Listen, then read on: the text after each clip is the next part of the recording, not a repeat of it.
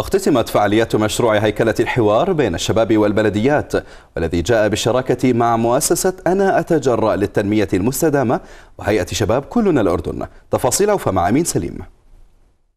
تأسيس لجنة شبابية رئيسية للتنمية والتخطيط الاستراتيجي. كانت من أبرز نتائج المرحلة الثانية من مشروع هيكلة الحوار بين الشباب والبلديات الذي تدرب المشاركون فيه على مواضيع تتعلق بالحوار بين الشباب والبلديات على مدار عام كامل.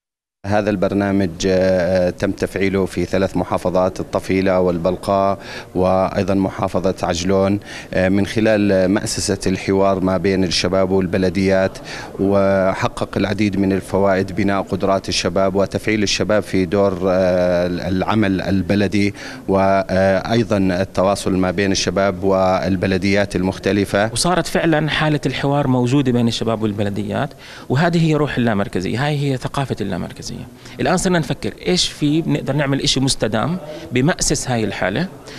والصراحة نجحنا الحمد لله إنه يتم تأسيس أول وحدة شباب تعنى بالعمل الشبابي ضمن هيكل البلدية.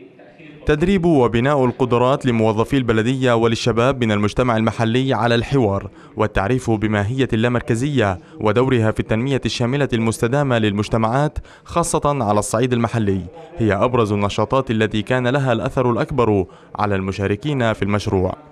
صار في مؤسسة حوار بيننا وبين البلديات. هذه المؤسسة أدت إلى وجود ما يدعى بلجان أصدقاء البلدية حيث صار تشارك بين الشباب الأردني والبلديات وقدمنا بعض الحلول للبلدية وصار في عندنا آه، مؤسسة كاملة للموضوع. هيكلة الحوار بين الشباب والبلديات كثير أفادتني آه، بطريقة أنه ربطت آه، ما بيننا إحنا كشباب وما بين البلدية. يعني صرنا عم نعرف إيش دور البلدية إيش ممكن تقدم إلنا وإيش إحنا دورنا إلهم.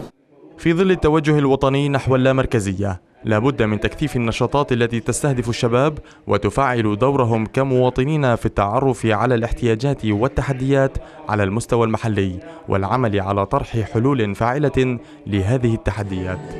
أمين سليم رؤيا.